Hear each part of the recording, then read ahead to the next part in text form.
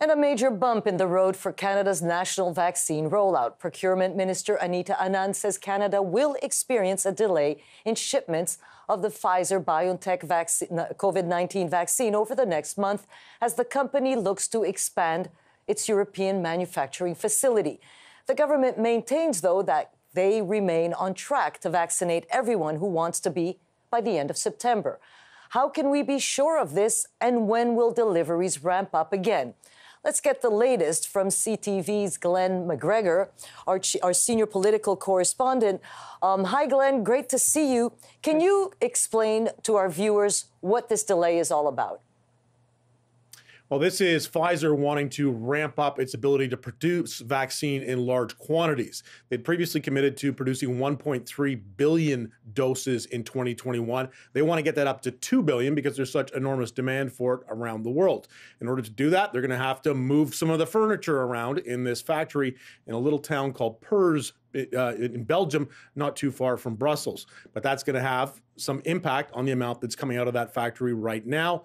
And it's going to affect, of course, uh, most countries in Europe. There's a lot of outrage in Europe, particularly among some of the Baltic countries, because they thought they were getting a certain amount of Pfizer vaccine on a certain schedule, and they're now finding out just over the last 24 hours that they're not.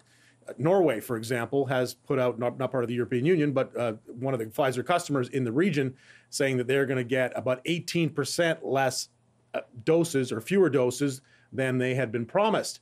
In Canada, much greater effect. We're going to be cut by 50% over a period of about four weeks, according to Dany Fortin, who's leading the vaccine uh, distribution task force. That's a big number. Uh, the week after next, we were supposed to get 208,000 doses of Pfizer now going to get 50% of that, so about 104,000. Yeah. And that means 104,000 people who aren't getting shots. And we know the way this illness works, some of those people are going to get sick, and unfortunately, probably some of them are going to die because of this. Yeah, but the big question, Glen, is do we know then how long it will take to get back to the delivery schedule that we anticipated? That's a big unknown. You're right. We know how long we're going to be getting docked on our deliveries. The government says they still think they can make the target of having 4 million doses delivered by the end of March. That's a figure they've been working with since uh, December. Whether or not they can actually do that, we'll see. We assume that's the transition goes goes efficiently. You know, Pfizer's a big, very efficient company, and they tend to be good at these kinds of things, working on scale like this but uh, it's unknown whether or not that's going to come in as, as, quickly as they're promising. The other thing is, you imagine that the provinces who are building their distribution systems based on ex- expecting a certain number of vials coming in each week, if they suddenly are given a glut of them in February and into March, that's going to put a bit of a strain on that system. It's going to require them to vaccinate a lot more people a lot more quickly.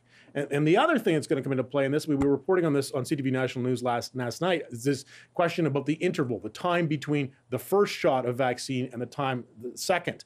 Quebec is now extending that to up to 90 days.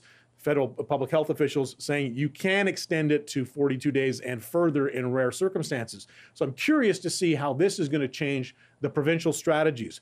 Is this going to make them less likely to pursue that strategy because they're going to be worried about the supply and the reliability of getting more doses in? And are they going to say, oh, well, okay, we're going to start holding some of this back to ensure that people who get the first shot can get the second?